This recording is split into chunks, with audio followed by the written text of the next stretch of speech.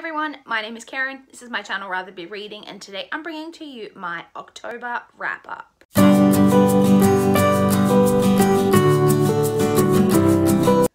October was kind of a crazy kind of month.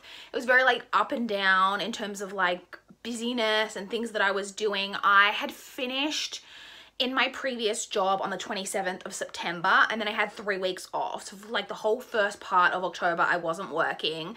I then started my new job on the 21st of October.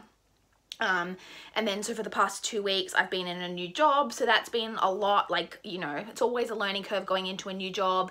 Um, so that's been going on. So I was getting a lot read in the first couple of weeks when I was off work in terms of like actual like reading of like my library books, my physical TBR and like ebooks and stuff, but was not getting very much audiobook listening done.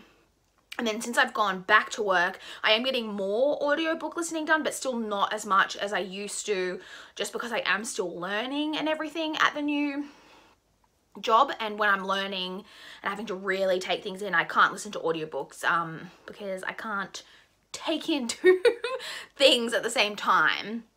Um, so my reading in the past couple of weeks has been like kind of down, but then I was reading so much in the beginning that it has still worked out to be a really great reading month if I'm being like honest, like overall. But I was also doing a lot of DNFing, um, which I've kind of talked about in some of my recent reads videos that I've been doing. So anyway, let's jump into my statistics. So in total, I ended up completing a total of 30 books. Um, and I had an additional four DNFs um, which I'm actually surprised that it was only four, but I think, because I feel like I've DNF'd basically a, at least a book a week for like the past like five or six weeks, but obviously some of those weeks would have been towards the end part um, of September. So four DNFs, and then of the 30 books that I read, I read 28 novels and two graphic novels. I read 21 books in physical format. I listened, I sorry, I also read five ebooks and I listened to four audiobooks. So like I said, my audiobook like numbers are like way down compared to um, where they would usually be. And then excluding the audiobooks, I read 18 books that I own and eight from the library. I read a total of 10,954 pages, which averaged out to 353 pages per day. So I'm really happy with that average, considering that audiobook listening is normally what really brings my average up. And like I wasn't really doing that this month. The shortest book that I read was 112 pages, which was one of the graphic novels. And the longest book that I read was 645 pages. The lowest star rating that I gave was I did give one book two stars and then the highest star rating that I gave was I did give two different books a 4.5 star rating this month, which is really great. So my average star rating for the month averaged out to 3.49 stars, which is pretty good for me, honestly. I am now going to go through my the 30 books that I read um, and the ratings that I gave them. These are not ranked except for my least favorite and my most favorite, which I actually struggled with this month to decide which of the two 4.5 star rated books, which of them was going to be my favorite. Now, there are also four books in this out of this 30 that I haven't talked about on my channel yet. They will be in my next recent reads video, um, which will be coming up in a couple of days. I'll be filming that after I finish filming this. So I'll let you know what those books are as we go through though. So the books. The lowest rated and my least favorite book of the month, my two star rated book was Bay of Shadows by Samantha Wood. I had two 2.75 star rated books, which was My Name is Memory by Ann Brashares and Lying Out Loud by Kody Keplinger. My three star ratings were Safe Haven by Nicholas Sparks, Embrace by Jessica Shirvington, Beloved by Toni Morrison, A Midsummer's Night Nightmare by Kody Keplinger, Innocence by Kathleen Tessaro, Notorious 19 by Janet Evanovich, Prom Wrecked by T.H. Hernandez and Jennifer Di Giovanni, Through the Woods by Emily Carroll, I had a one 3.25 star rated book, which was Princess and the Fangirl by Ashley Poston.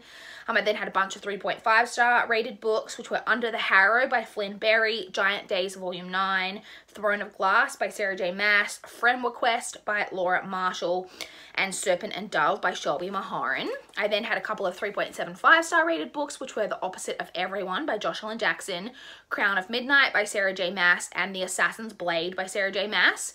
We then have my four star ratings. Love Letters to the Dead by Ava Dellaira. The Martian by Andy Weir. Sleep by C.L. Taylor. 10,000 Skies Above You by Claudia Gray. The Bride Test by Helen Hoang. And, sorry, Heir of Fire by Sarah J. Maas. Now, Heir of Fire is one of the books that I haven't talked about yet. Um, and then also four star rated was Hercule Poirot's Christmas by Agatha Christie, which I also haven't talked about yet. I had one 4.25 star rated book, which I also haven't talked about yet, which was Queen of Shadows by Sarah J Maas. And then I had two 4.5 star rated books. The first was Sadie by Courtney Summers. And then my favorite book of the month, which I also haven't talked about yet, was The Unhoneymooners by Christina Lauren. Um, that's it, I guess. Those are my statistics. Those are all the books that I've read with my least and most favorites of the month. Like I said, very kind of up and down in terms of like what was going on this month. Um, but still really great numbers overall. I should also, I guess I'll just kind of mention, I have already surpassed, uh, in October, I surpassed how many books I read for the entire year last year, which I'm kind of amazed about. I expected to hit kind of this type of number um, by the end of the year. Like I expected to get to the kind of the same levels as last year, but I didn't expect to hit it like a whole two months earlier than I did last year. I really don't know how that's happened because it just seems like every year I read more and more. Like my numbers have just gone up every year, even though I'm not like, and a couple of years ago that was made sense because I'd started listening to audiobooks, which obviously increased my numbers because audiobooks are always like in addition to everything else that I read. But um, I'm not sure since I started listening to audiobooks a couple of years ago how my numbers are still just like increasing every year because it's not like every year I'm like, oh, really push myself. I've got to read more than I did the year before, but it just, it just keeps happening for some reason and I'm not mad about it. So yeah, that is basically my October wrap up. I would love to chat with you guys in the comments down below if you've got any thoughts on any of the books that I've read or if you want to chat about how your October reading month went, what was your favorite and least favorite of the month? I would love to know. Please like this video if you liked it. Please subscribe if you want to see more from my channel. That is all I have for this video today. Bye guys.